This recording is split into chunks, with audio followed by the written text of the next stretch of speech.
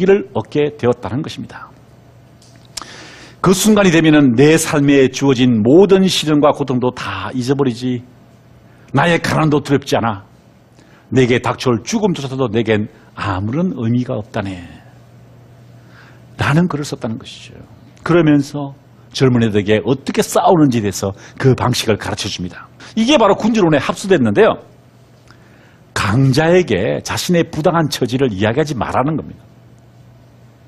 함부로 내가 힘들다는 이야기 하지 말라는 거예요. 참아라는 것입니다. 용기를 가지고 저항을 준비하되 무기가 두 손에 쥐어지기 전까지는 침묵하고 위장으로 일관하라는 것입니다. 그러다가 때가 무르익으면 그때는 과감하게 행동해야 된다. 어떤 내용이죠? 군주론에 나오는 이야기죠. 그 핵심적인 내용이 바로 이 로마서 농구에 쭉 기록이 되어 있던 것입니다. 자, 그런데 강자가 너무 강하면 어떡하냐는 거죠. 도저히 이거 뭐 준비를 해도 안 되면 어떻게 해야 돼? 일단 웃으라는 것입니다. 웃어라. 여러분, 마키아벨리는요, 군주론의 제자로 알려진 것이 아니라 만드라골라의 제자로 알려졌습니다. 만드라골라. 코미디입니다, 코미디. 여러분, 그거 아십니까? 마키아벨리가 코미디를 썼다는 사실을 아십니까?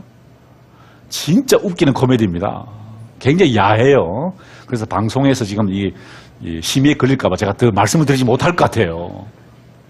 근데 여러분, 희곡을 쓴다는 게 무슨 말이죠? 아니, 여러분, 단테가 쓴 책 이름이 뭐죠? 신곡이죠. 디바인 코미디죠. 그죠? 거기도 코미디입니다. 근데 시곡 읽어보셨어요? 웃기지도 않아요. 심각한 이야기만 했어요.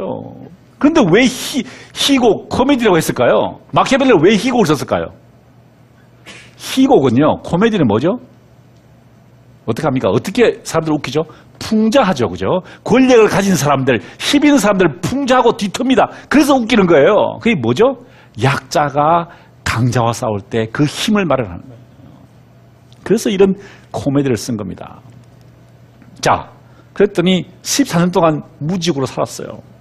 코미디 작가로 조금 이제 입에 풀칠하게 됐어요. 그랬더니 야 메디치 가문의 두 번째 교황인 클레멘트 7세가 이제 로마로 가면서 야 그래도 우리 고향에 좀 유능한 인재가 없냐 그랬더니 모든 사람들이 마키아벨리 괜찮습니다. 비록 옛날에 메디치 가문에서 도전했지만 지금은 반성하고 14년 동안 실업자 살고 있습니다. 그랬더니 그래? 그래도 한번 이 반역을 꿈꿨던 사람을 내가 믿을 수는 없어. 하지만 재능이 있다 그러니까 역사책을 하나 쓰게 하게라고 해서 피렌체 역사란 책을 맡깁니다. 한국에 아직 번역이 안 됐는데요. 이 책 쓰는데 굉장히 재미있는 책입니다. 어떻게 피렌체가 이 상태로 오게 되었는가에 대해서 아주 통일한 분석을 담고 있는 책인데요. 자, 이 책을 써가지고요. 이제 이 책을 이제 로마에 계신 교황님께 바쳐야 되잖아요. 이제 주문을 했기 때문에. 그래서 바치러 가는데 문제가 생깁니다. 어떤 문제가 생기죠? 바로 스페인이 로마를 공격해 들어온, 이탈리아를 공격해 들어오죠. 1527년의 사건입니다. 그랬더니 자 보십시오. 스페인이 침공하면 어떻게 알프스를 넘어서 내려오겠죠. 그럼 먼저 피렌체를 지나서 로마로 올 거 아닙니까? 자 로마에 있는 교황님께서 자기 고향의 피렌체가 위험하니까 야 이거 어떻게 하면 되냐? 그랬더니 많은 사람들이 거기에 인재가 하나 있습니다. 누군데? 마키아벨리라는 인재가 있습니다. 그래? 그러면 그를 등용시키게. 그래서 성벽관리위원회의 위원장으로 임명합니다. 들어와서 뭘 해야 됩니까? 빨리 성벽을 쌓아야 돼요. 왜? 스페인군이 치어들어올지 공격할지 모르니까 누구를 부른지 아십니까? 미켈란젤로를 부른 겁니다. 여기서 미켈란젤로와 메디치와 마키아벨리가 만납니다. 저는 이것을 3M이라고 생각해요. 3M. 3M 사건이다 이렇게 봐요. 예? 3M 사건. 그래서 미켈란젤로에게 성벽을 어떻게 설계하면 좋겠나 했더니 이런 도안을 냅니다. 자, 역시 이 미켈란젤로가 천재예요. 보세요. 성벽을 어떻게 하면 이게 별처럼 만드는 거예요. 포를 쏠 수 있도록, 그죠?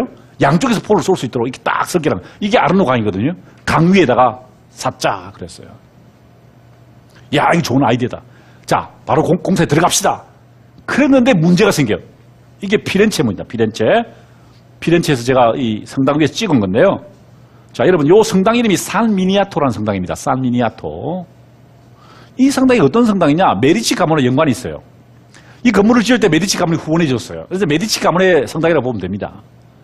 그랬는데 이 마키아벨리와 미켈란젤로가 방어선을 어디로 구축했냐면 여기로 구축했어요. 이게 마키아벨리의 방어선입니다. 그랬더니 메디치 가문의 교황이신 클레멘치스가 보고를 받더니 뭐라고 하는지 아세요? 야, 너 이 성을 이렇게 쌓으면은 이 우리 우리 가문의 성당의 산 미나토가 어떻게 되는데? 야, 우리 방어선을 저 뒤- 뒤로 돌려가지고 산 미나토 성당을 보호해라. 그랬더니 뭐라고 하는지 아십니까? 마키아벨리가 뭐라고 하는지 아세요? 싫습니다. 안 됩니다. 만약에 우리가 방어선을 그쪽으로 펴면은 방어선이 길어지기 때문에 수비하는데 불리합니다. 여러분, 만약에 여러분이 실업자로 14년 동안 살다가 다시 자리에 불렀어요. 예? 근데 그 회사의 사장님이 야, 너 이 라인 이쪽으로 꺼. 그러면 여러분은 싫습니다. 이렇게 할 수 있겠어요? 네, 그렇게 하겠습니다. 그러겠죠. 근데 마키아벨리는 노, 싫습니다. 내가 보기에 이 선, 이 선이 가장 적절한 선입니다라고 주장했다는 거죠.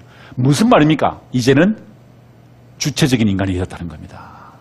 남의 지배를 받는 것이 아니라 자유로운 주체적인 사고를 하는 인간이 되었다는 것이죠.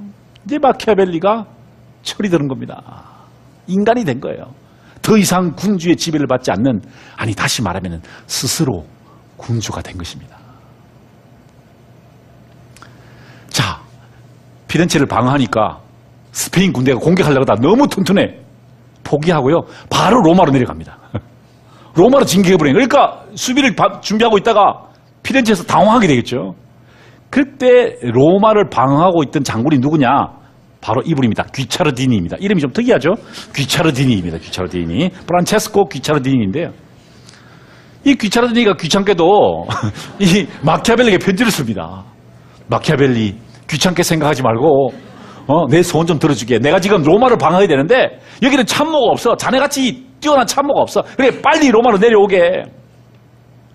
그랬더니 친구의 부탁이 지금 이게 피렌체 동상이거든요. 마키아벨리 바로 옆에 귀차르디니가 써 있습니다.